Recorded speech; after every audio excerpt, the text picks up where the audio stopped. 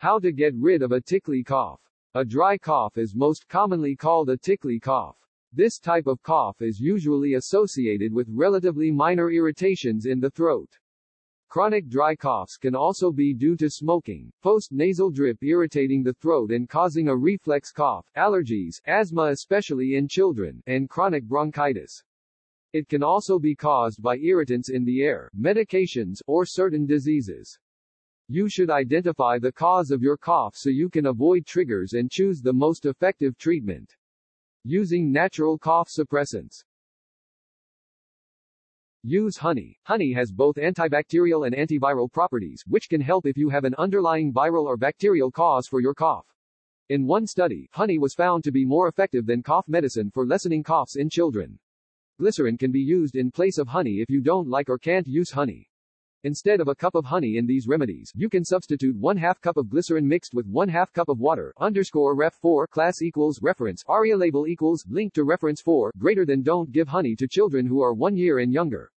Glycerin can be used in place of honey if you don't like or can't use honey. Instead of a cup of honey in these remedies, you can substitute 1 half cup of glycerin mixed with 1 half cup of water. Don't give honey to children who are 1 year and younger. Add lemon to your beverages. Lemon is great when you are sick because it contains high levels of vitamin C. It also has antibacterial and antiviral properties.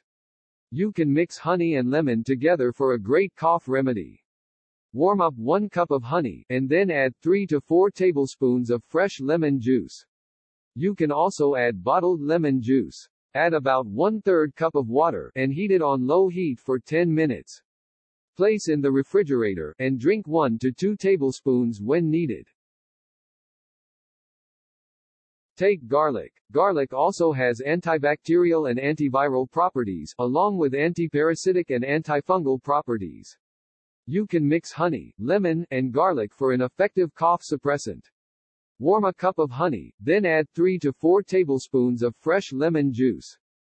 Then peel 2 to 3 cloves of garlic and chop them as finely as possible. Place them into the mixture. Add 1 3rd cup of water, and heat on low heat for 10 minutes.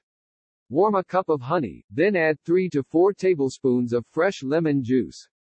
Then peel 2 to 3 cloves of garlic and chop them as finely as possible. Place them into the mixture. Add 1 3rd cup of water, and heat on low heat for 10 minutes. Add some ginger. Ginger is used as an expectorant, which thins out mucus and phlegm and acts as a bronchial relaxant. Adding ginger to tea, food, or a honey-lemon mixture can decrease the desire to cough. Peel and grate between 1 and 2 inches of fresh ginger root. Add it to a honey-lemon mixture. Peel and grate between 1 and 2 inches of fresh ginger root. Add it to a honey-lemon mixture.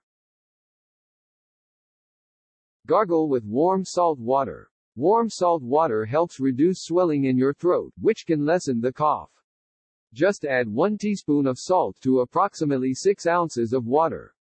Stir to dissolve the salt completely in the water. Then, gargle. Repeat every few hours or whenever your throat feels swollen. If the cause of your cough is not a sore or irritated throat, this may not help your cough.